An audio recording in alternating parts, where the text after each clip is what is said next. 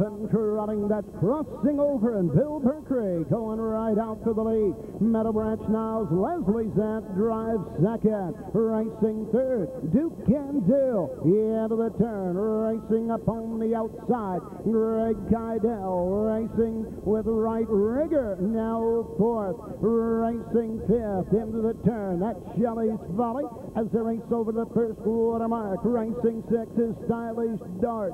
Seventh is Stretch Rose. Opening quarter in 29 and 2 fifth. Racing eight. That's High Kevin and trailing the field. CC's Flight at the 3 8 mark. Bill Berkery and crossing over by two. Leslie Zab, Meadow Branch Niles second.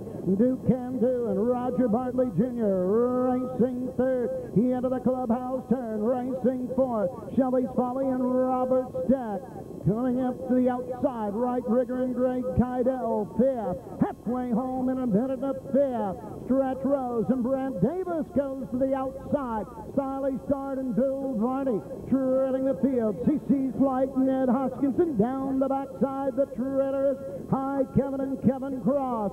Go on to the three-quarter mark. Crossing over with Billy Meadow Branch Niles right there second. Up on the outside. Right rigger continue to close ground third. Duke Can Do fourth. Three quarters 130. Backside 29 and 4. Around the final turn. Here comes Leslie Zed and Meadow Branch Niles on the outside. Crossing over on the inside. Meadow Branch Niles on the outside. Up the lightning lane comes right rigger. Coming to the wire. Crossing over. Meadow Branch Niles with every stride. Coming to the wire. Crossing over. Meadow Branch Niles second. Right rigger. Third. The mile. Two minutes. Flat. Final half in 59 and 4. The final quarter, 30 seconds flat. And I do believe Bill Berkery hangs tough with crossing over.